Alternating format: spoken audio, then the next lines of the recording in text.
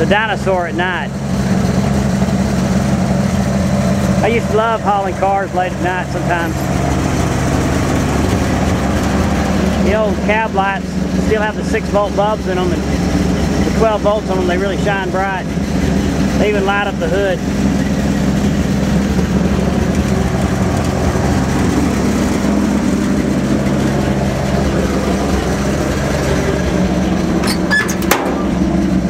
Even the old original instrument panel bulbs still light up.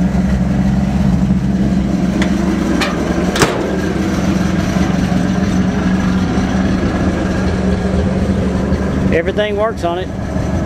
Still need to make it run smoother.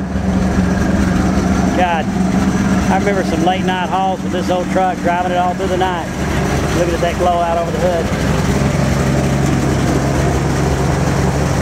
They just don't make them like that anymore.